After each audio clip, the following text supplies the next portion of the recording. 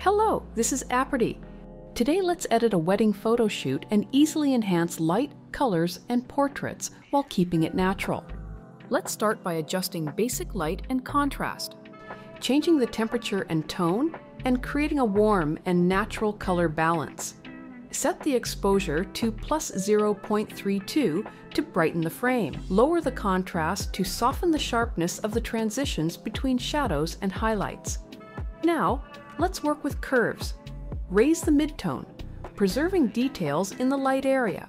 Make the dark tones more contrasting, and also adjust the RGB curves.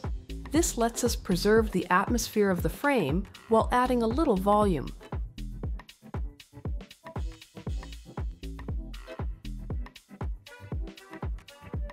Go to the Color tools, find HSL. Shift from the green to the yellow. Also add some orange tones in the red.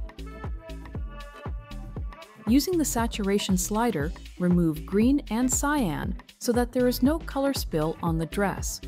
Choose the masking tool, select a brush, and draw a mask on the bride's back to remove the greenish tint on the skin.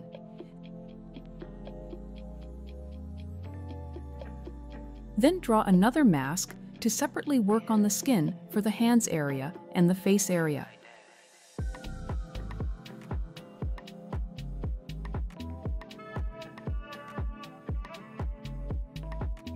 Navigate to the Erase and Clone feature to work on the back area.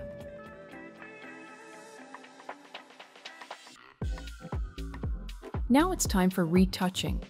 Enhance both the bride and groom Firstly, even out the skin tones. Use blemish removal, skin smoothing, dark circles removal.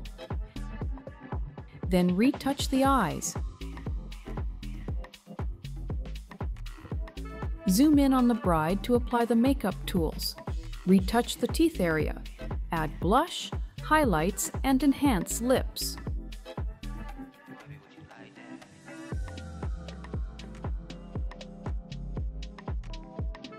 Then move on to the skin on the back and use the body skin smoothing tool.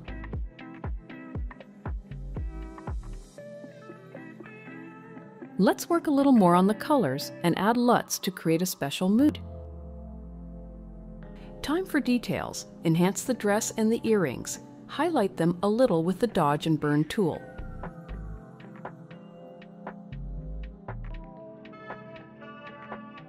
The image also lacks sharpness, so navigate to the Essentials panel and apply the tools that will help you make the details clearer. You can copy and paste these settings to the rest of the photos.